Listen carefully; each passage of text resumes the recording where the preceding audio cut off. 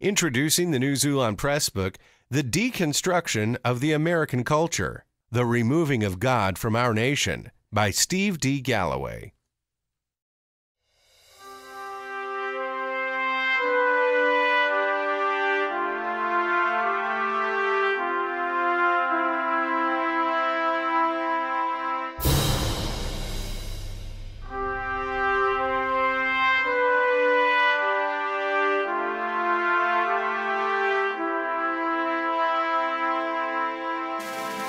Bye.